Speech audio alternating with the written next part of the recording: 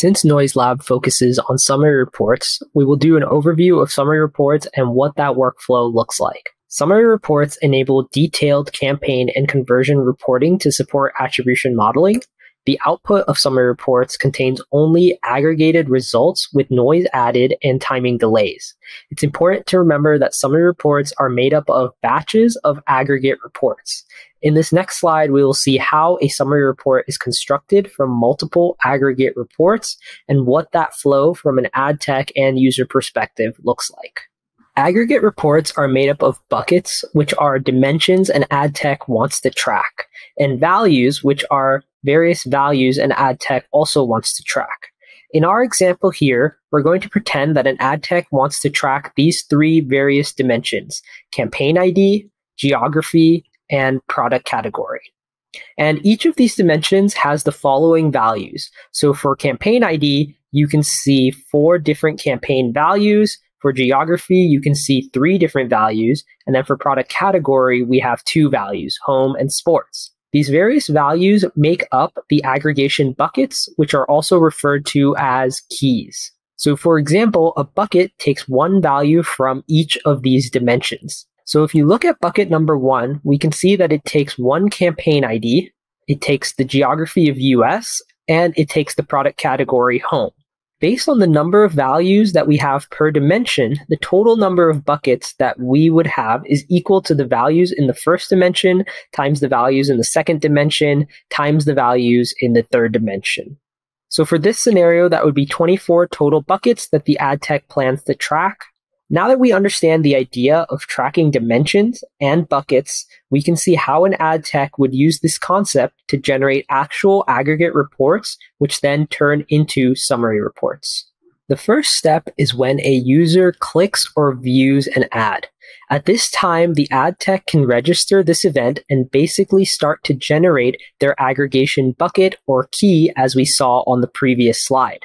So in this example, when a user clicks or views an ad, the ad tech would then start creating their aggregation bucket by writing some of their publisher or source site information into this aggregation bucket. In this example, let's say the ad took place in the US. So the ad tech would write down this information as geo US, as we can see right here. And then they also serve a specific campaign ID, which they would also add as part of the aggregation bucket, which in this case would be the 1A3 that they have added to the aggregation bucket or also referred to as key. In addition to that, the ad tech would also specify what value they are planning on tracking. In this example, they have decided to track purchase value, which they have indicated here as well.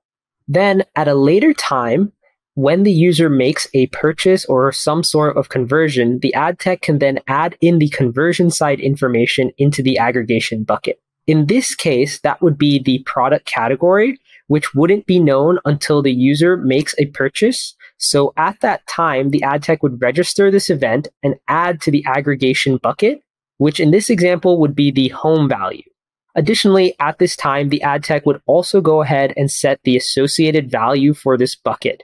So in this case, that would be the purchase value, which is indicated here by the 200 that has been placed in the purchase value bucket. The aggregation bucket now consists of a geography value, a campaign ID value, a product category value, and an associated purchase value.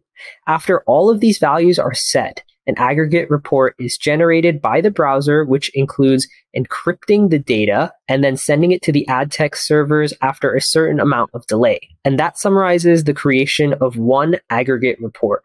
One important callout, which we will also discuss more in future slides and the Noise Lab demo, is the concept of scaling. When an ad tech is setting the associated purchase value, they can scale this value based on the contribution budget. By scaling this value, noise will have lower impact. We will go into more detail regarding this in a later section. Now that we have seen the creation of one aggregate report in practice, an ad tech would most likely receive many of these encrypted aggregatable reports from various browsers as users go through the flow of seeing an ad and then converting.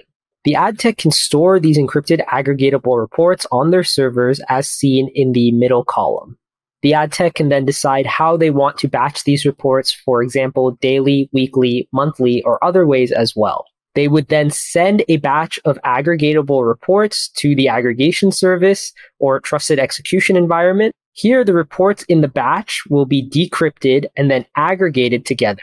So in this example, all buckets that are the same will have their purchase values summed together. And then within this environment, noise will be added to the aggregated purchase value.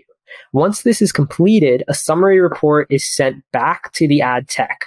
In this example, the ad tech would receive back information that for this bucket, there was an aggregate purchase value of 53,000. The ad tech will not know the true value of 50,000, but rather the aggregate purchase value with noise added.